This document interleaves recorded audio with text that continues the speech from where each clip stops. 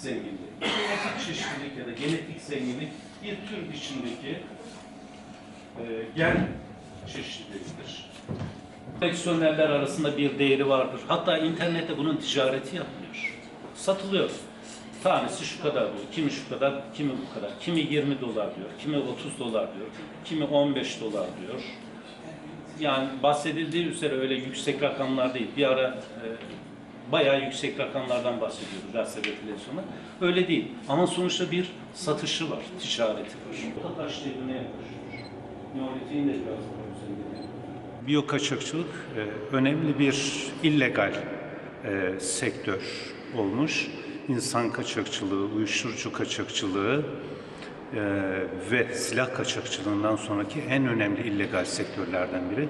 Yaklaşık 25 milyon milyar dolara ulaşan bir e, sektör. Tabii ki en önemli hedeflerden biri de Türkiye biyolojik çeşitlilik açısından oldukça zengin.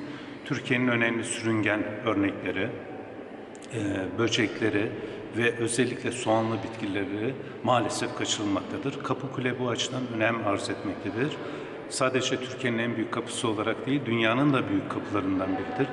Dolayısıyla Kapıkule ve İpsala gümrük kapılarında verdiğimiz eğitimlerin önemi bu açıdan çok büyük.